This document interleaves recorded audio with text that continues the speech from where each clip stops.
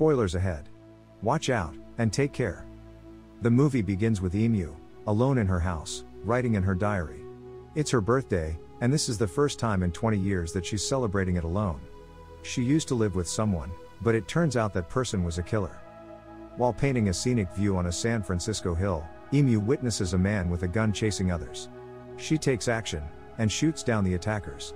The man approaches her, introduces himself as Yo, and extends a hand in friendship. Next, Emu is celebrating her birthday by herself at home. She has been living alone in her house for two decades, since her parents passed away. She reveals that Yo is known as Freeman, and that he has liberated her from her loneliness. As a symbolic gesture, she opens a bottle, and blows its contents onto a Yo painting made by her. Later, we find Yo at the airport, checking in for a flight. He discovers something red in his bag, which he refers to as clay, and calls himself Porter. Even the air hostess is convinced by his explanation. While in a car, he uncovers two guns hidden within the clay. Ko, seated in the front, questions why he still uses two guns. In response, he points one of the guns at Ko, and insists he needs to go home. Ko replies that he doesn't have a home. It's revealed that the Sons of the Dragons, a Chinese triad, are content after assassinating rival Shimazaki's son, who has turned to violence in San Francisco following his son's death, becoming a threat to them. Now, he's in the city of Vancouver, right where he needed to be. At Vancouver City Hall, we see Chief Randall, Detective Netta, and Detective Forge meeting. Chief Randall announces that Detective Netta is now Forge's new boss. The stage is set for what comes next. Chief Randall meets with Shimazaki in front of his clan, the Hakushin Society, and explains that Shimazaki represents Japanese citizens, and wants to avoid unnecessary violence. Chief Randall also introduces Detective Netta, who hails from Tokyo. Shimazaki stands and reveals that his son was killed on August 4 in San Francisco, and Emu, a resident of their city, is a witness to the murder. The assassin is now targeting the witness Emu, and he implores the group not to interfere. Netta hands a letter to Forge, instructing her to go to Emu, who departs as instructed. Shimazaki reveals the person who killed his son is in their city. This assassin belongs to China and goes by the name the Sons of Dragons. He is a solitary individual with immense power, yet he prefers to work alone. The tension escalates as the danger to Emu becomes increasingly apparent. As the people in the meeting mock the situation, Chief Randall asserts that this is no laughing matter. He explains that the roots of the Sons of the Dragons go back in history, spanning 14 centuries. In the past, when the Manchus overthrew the Chinese emperor and imposed a reign of terror, 108 militant Buddhist monks staged a revolt. Although the Manchus managed to eliminate all but five of these monks, these five survivors went on to establish the Society of the Sons of the Dragons. These monks became guardians of the Chinese people, fighting against injustice and oppression. Among them is a legendary killer known as Freeman, said to possess the essence of the dragon within him. He is believed to be immortal. His appearance can change to Chinese American Japanese or any race, yet he always embodies the spirit of the dragon, and remains the same, a superkiller. Shimazaki issues a warning ultimatum, giving them 48 hours to find Freeman, the assassin. Outside, Yo launches an attack on Shimazaki and his bodyguard, donning a mask. Simultaneously, Ko targets Shimazaki's vehicles from the top of a building. Yo confronts them, firing a barrage of bullets, that ultimately leads to Shimazaki's demise. With Ko by his side, Yo flees the scene. Emu spots him, and recognizes his face. Detective Forge gives chase, but eventually lowers her gun. Unfortunately, this results in an explosion, allowing Freeman to escape. To Detective Forge's surprise, Emu utters Yo's name, revealing a connection between them, that raises questions about her involvement with the dangerous assassin. In the car, Ko expresses satisfaction that the Yakuza will now think twice before venturing into China, believing they've avenged their losses. Yo, however, exits the car with a knife, scales a wall, and enters a house, eventually reaching a room, where he gazes upon his own paintings. Later at night, Emu undergoes questioning by Netta and Forge, regarding Freeman's identity. Due to insufficient evidence, Netta instructs him to leave. Forge then informs Emu that Shimazaki has issued a 40 hour ultimatum. If they fail to locate Freeman within this time frame, it could spark a gang war in the city, resulting in casualties. The tension in the city continues to rise as the deadline approaches. Emu offers her apologies and begins to leave, but Netta advises her that if a killer in China introduces themselves to you, it likely means they intend to harm you. Forge drops her off and provides her with an alarm that can summon help within 20 seconds if needed. At night, the police maintain a presence in her garden. Emu is hesitant about having the police inside her house, given the painful memory of her parents' deaths there, but they remain outside. She informs Forge that she can't provide any assistance and can't protect her either, and enters her house. After taking a bath, she discovers that a picture of Yo is burning. When she confronts Yo with a knife, she realizes that her entire collection of paintings has been destroyed in the fire, escalating the tension between them. She manages to seduce Yo, who lies down on the bed. They both undress, and begin to get intimate. During their encounter, the alarm slips from her hand. Outside the house, Netta encounters Kimi Hanada, and promptly calls Forge for assistance. Inside, Emu and Yo continue their intimacy. However, they are interrupted by the sound of glass breaking. Yo quickly gets up and positions himself above the door. And two men enter Emu's room as she approaches.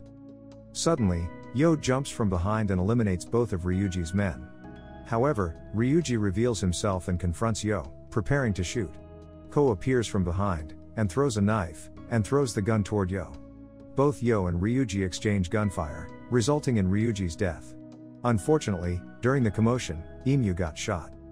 Yo rushes to her side to check on her, while Ko instructs him to finish the job. However, he decides not to kill Emu. Instead, he picks her up, and carries her with him. After some time, Kimi arrives and starts kissing Ryuji, adding a twist to the already intense situation. Later, Yo and Ko have a heated argument about whether to save Emu. Ko threatens to reveal their secret to the family, if Yo doesn't agree to kill her. However, Yo refuses, and insists that Ko should take Emu to the hospital instead. Meanwhile, Emu regains consciousness, and Yo informs her that if she ever needs to find him, she should remember the name Hinomura. This angers Ko, who aims a gun at Emu, but Yo intervenes. Three days later, Emu wakes up in the hospital, where Netta and Forge are guarding her room. Mary comes to visit Emu, and together they devise a plan to escape. When Netta senses something is amiss, Forge checks the room, only to find Mary sleeping in her place. As Emu and Mary make their escape, Netta and Forge realize something is wrong and give chase, pursuing Emu's car. Suddenly, a Yakuza driven tractor trailer crashes into Emu and Mary's car, causing a devastating accident. Forge remains trapped inside the car, and Netta desperately tries to rescue her. Tragically, the car explodes, and Forge loses her life in the explosion. Emu starts to suspect that she might be the target, but Yo had sent the man to locate her. In her grief and confusion, she decides to abandon everything and head to Hinomura. Meanwhile, in Shanghai City, Ryuji's gang launches an attack on a soy factory protected by the Sons of the Dragons. It becomes clear that Ryuji and his gang are still alive, and this attack serves as a message from Hanada to the Sons of the Dragons. Ryuji declares war, and he has his sights set on Freeman. After a three day journey, Emu finally reunites with Yo. During their meeting, Yo opens up to Emu about his mysterious past. Many years ago, he was known as Yo Hinomura, a famous pottery sculptor, who was in New York for an art exhibit. While in New York, Yo stumbled upon a roll of photographic negatives. Curiosity got the best of him, and he developed the photos in his hotel bathroom. What he discovered in those pictures was shocking. They depicted the gruesome torture and execution of a man adorned with dragon tattoos, strangely similar to the tattoos Yo would later have. But his investigation took a sinister turn. Before he could leave his hotel, Yo was drugged and abducted by a secretive group, known as the Sons of the Dragons. This mysterious organization used unique acupuncture techniques to implant hidden messages into Yo's mind, controlling his actions without his knowledge. As Yo got entangled in the Sons of the Dragon's web, he embarked on his first mission to assassinate mafia boss Antonio Rossi. During this mission, something unexpected happened. While carrying out the execution, tears welled up in Yo's eyes, earning him the name Crying Freeman, a name that would become infamous in the world of assassins. Ko informs Yo about Ryuji's gang attacking a soy factory in Shanghai, and their declaration of war against the Sons of the Dragons. Emu initially tries to stop Yo from attending Shimazaki's funeral, but she eventually convinces him that it's necessary for him to be there. Yo and Ko travel to Shimazaki's funeral outside Tokyo, to kill Ryuji. At the funeral, Netta is also in attendance. Meanwhile, Yo and Ko manage to capture Mr. Dagaki. Under Yo's influence, Dagaki calls Ryuji, and two of Ryuji's men arrive. Dagaki tells them that Yo is his new boss, and Ko takes the opportunity to thank him, before killing him. Later, Netta approaches Ryuji directly without consulting anyone, and accuses him of being the prime suspect in the murder of 16 people at the soy factory. Netta reveals that Ryuji was the one who sent Shimazaki's son to San Francisco, and people are keen to learn more about this. Ryuji introduces Netta to his wife, Kimi, and admits that he's a cop. The three of them pressure Netta for information about Emu's arrival in Tokyo with a fake passport. Afterwards, Netta follows Kimi to her room, and is about to kiss her, when a photographer takes a photo, startling him. Yo and Ko arrive to meet Ryuji, who becomes suspicious upon seeing them, and points a gun at them. However, when Yo doesn't react as expected, Ryuji believes they are his associates. In a secret encounter, Kimi and Netta engage in a passionate moment inside a closet. During their intimate moment, Kimi confides in Netta about a shocking revelation. The Shimazaki family was framed by the Hanadas to be eliminated, allowing the Hanadas to seize control of the clan. Meanwhile, Yo and Ko take action to wipe out the entire clan, but a dramatic turn of events unfolds. Just as Ko is about to execute Yo for his supposed betrayal, Ryuji intervenes and shoots Ko down. Moments later, the entire complex erupts in a massive explosion, resulting in Ryuji's demise. Yo returns to his home, preparing for a final showdown. He sets up the area to self destruct, and arms himself to face off against Netta, Kimi, and her henchmen. Despite sustaining injuries from Netta, Yo manages to eliminate the henchman and overcome Netta, ultimately defeating him. In a desperate move, Yo stabs Kimi near her heart. As a sign of her surrender, Kimi promises that she won't pursue him and Emu, in exchange for sparing her life. With this agreement in place, Yo and Emu make their exit from the premises. However, just as they depart, Netta attempts to shoot them from behind, but is swiftly dispatched by Kimi. Yo and Emu ride off into the sunset on a speedboat, leaving the turmoil behind them. The end. Thank you for watching. Subscribe if you'd like to see more videos like this. Turn on the notifications, and leave a like to help the channel out.